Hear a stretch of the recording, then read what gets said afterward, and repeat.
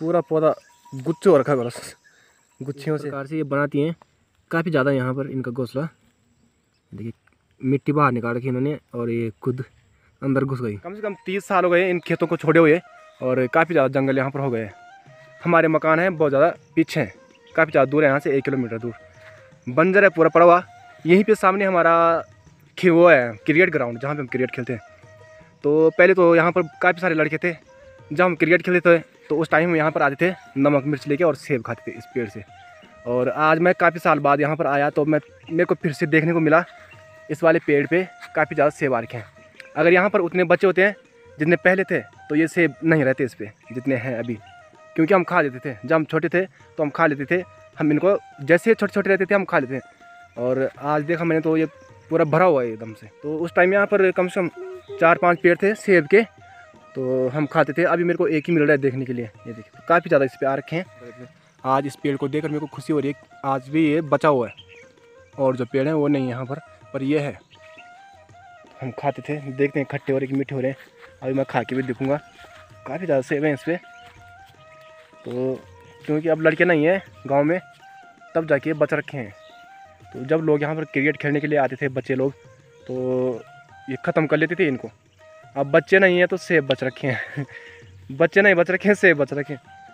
दोस्तों ये मैंने सेब निकाल दिया मैं खा रहा हूँ और आज मुझे उन भाई लोगों की कमी महसूस हो रही है जो मेरे साथ यहाँ पर ऊपर बैठ के और नमक मिर्च में हम खाते थे। तो हम इनको इतना बड़ा बड़ा भी नहीं होने देते थे मतलब छोटे में ही खा देते थे इनको। जैसे छोटे छोटे होते थे हम नमक मिर्च में इनको ख़त्म कर देते ये है झाड़ी बहुत ज़्यादा झाड़ी। मकान हमारे बहुत ज़्यादा दूर है। यहीं पे सामने हमारा क्रिकेट ग्राउंड है। ये वाला जहाँ पर आपको एक क्रिकेट खेलने के लिए नहीं आता है। तो नीचे भी आप देख सकते हो, झाड़ी है। ऊपर भी चारों तरफ़ झाड़ी झाड़ी है। और उनके बीच में एक सेब का पेड़, जिससे हम बचपन में खाते थे नमक मिर्च लेके। ये हैं दोस्तों किनगौड़ किनगौड़ होते हैं। पहाड़ में किनगौड़ हिसर और काफल। काफल और हिसर ख़त्म हो गए। अब किंगौर की बारी है, उसके बाद घिंगौर की बारी है फिर। घिंगौर भी दिखाऊँगा। आपको मैं घिंगौर भी दिखाने की कोशिश करूँगा।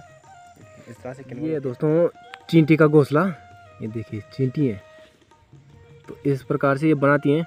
काफ़ी ज़्यादा यहाँ पर इनका घोंसला।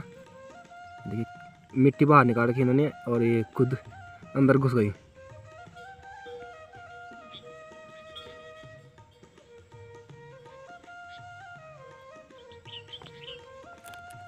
ये दोस्तों घिंगारू हैं, जो कि अब पकेंगे। अभी इसमें देखो, बिल्कुल कच्चे हैं हरे हरे ये देखिए, अभी हरे हरे हैं और ये पकेंगे बाद में। तो इनको बोलते हैं घिंगारू। मतलब पहाड़ में हर सीज़न पे कुछ ना कुछ होता रहता है। कभी घिंगारू, कभी हिस्सर कभी काफल, कभी किंगोर वगैरह। ये है दोस्तों कुज्जी। कुज्जी का मतलब एक होता है कुज्जा। कुज्जा होता है जिसको, जिसका कांटा होता है, बहुत ही खतरनाक डेंजरस कांटा। तो जब वो पकड़ता तो आदमी छोड़ता नहीं है। अपनी तरफ़ खींच देता उसको। तो ये वो है। तो जो मतलब कोमल टाइप का होता है कोमल टाइप का तो उसे हम खाते हैं। जैसे कि यही है। अभी बिल्कुल कोमल है। खाने में सही लग लगेगा। तो इसको खाते हैं हम जब ये बूढ़े हो जाते हैं बूढ़े कठोर तो हम न- इनको नहीं खाते फिर। तो बचपन में तो हम काफ़ी ज़्यादा खाते थे।